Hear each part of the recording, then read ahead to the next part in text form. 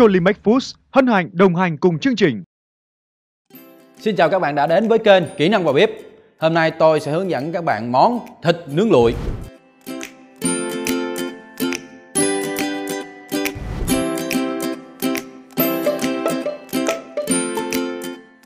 Để thực hiện món này chúng ta cần những nguyên liệu sau. Thịt heo chúng ta sẽ có 500g, rau ăn kèm là rau thơm các loại, dưa leo, cà chua ăn kèm, ngò trang trí.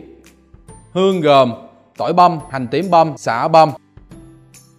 Gia vị gồm hạt niêm, đường, nước mắm tương ớt Cholimet, sốt ướp đồ nướng Cholimet.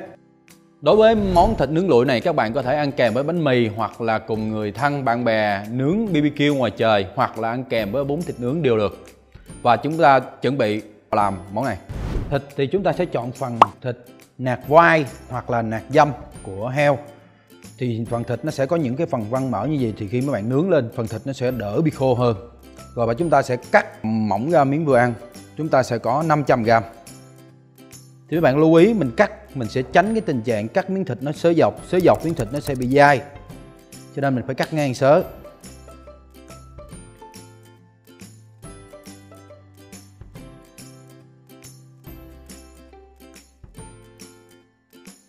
Và chúng ta bắt đầu ướp gia vị vào. Hạt niêm, chúng ta sẽ có một muỗng cà phê tương đương 4 gram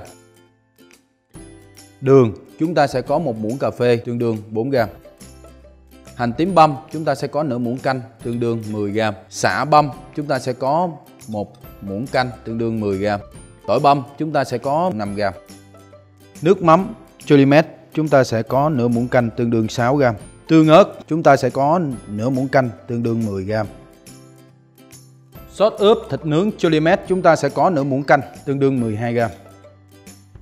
và chúng ta sẽ trộn đều lên. Ướp trong vòng khoảng 10 phút. Chuẩn bị xiên que, xiên que tre. Khi mua về mấy bạn chịu khó ngâm vào nước khi mấy bạn nướng cái phần xiên này đỡ cháy hơn. Ngâm nước tầm khoảng cỡ chừng 2 phút là được. Thịt đã ướp được 10 phút, bắt đầu chúng ta sẽ xiên thịt.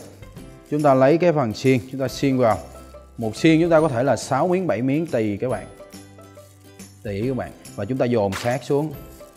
Và lưu ý khi mấy bạn dồn vô, mấy bạn dồn vừa thôi, đừng dồn sát quá. Cái phần thịt nó sẽ không, nó kẹt vô trong, nó sẽ không chín được.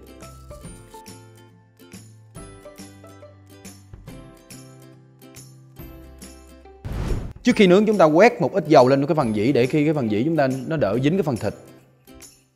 Rồi, chúng ta bắt đầu đặt những xiên que lên nướng.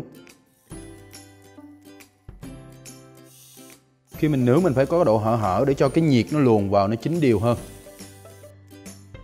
Rồi sau khi nướng được tầm khoảng 5 phút, chúng ta chở cái phần mặt lại để cho thôi phần thịt nó sẽ bị cháy.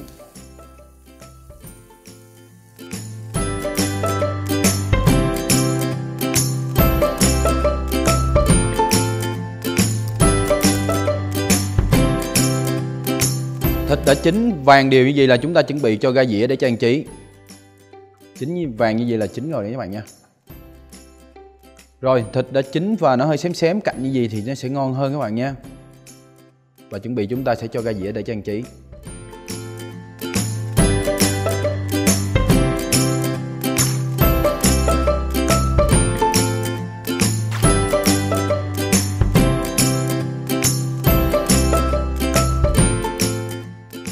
Vừa rồi tôi đã hướng dẫn xong cho các bạn món thịt nướng lụi. Chúc các bạn thực hiện thành công tại nhà. Chào và hẹn gặp lại các bạn những tập tiếp theo của Kỹ năng vào bếp.